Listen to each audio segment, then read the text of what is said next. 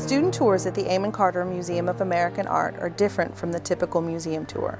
They are free, highly interactive, object-based experiences led by a team of professional educators called gallery teachers. The gallery teachers customize tours specifically for the students' grade levels and subjects. At the museum, students engage with original works of art through close looking, critical thinking, and rich conversations. Student groups often participate in guided activities like writing and sketching that integrate works of art with classroom curriculum. Some programs extend the experience with pre- and post-visit activities such as classroom readings, presentations, and discussions. This video is designed to help teachers prepare their students for a meaningful and engaging tour at the Amon Carter.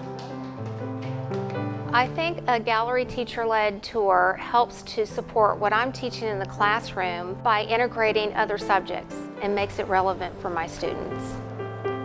When we're preparing to come on a field trip here, I like to talk with the gallery teacher about what types of field trips that they offer and to discuss what aspects of our curriculum that they can match up with the art that is currently on the walls so that the curriculum and the art go together.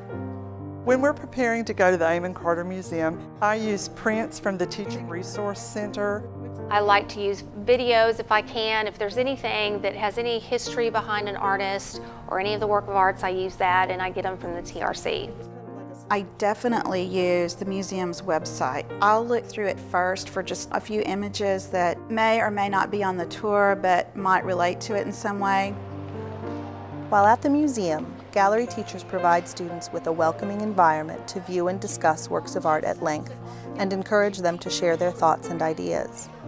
Students discover the Amon Carter's collection of American art through sustained looking, guided inquiry, personal interpretation, and independent exploration. An inquiry-based method allows students to hone their critical thinking and writing skills.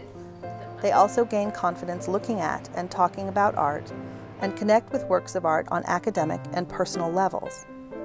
Bringing students on a museum tour ignites their imagination and exposes them to endless creative possibilities. Make sure that you connect the student artworks to things that you've discussed in the classroom, to topics that they're studying in their core subjects, to current events that are happening in the world around them so that it's not an extraneous experience, but it just enhances what they're experiencing in daily life.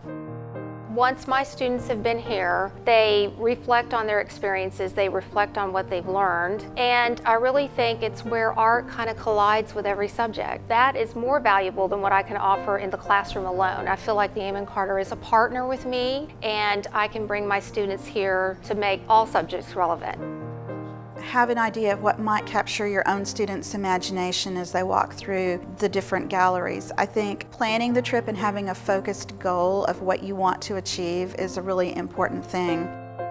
They're not just looking at a piece of artwork, they're looking at something that has history behind it. I want them to know that they're going to learn something new and they're going to be able to bring that back and teach somebody else.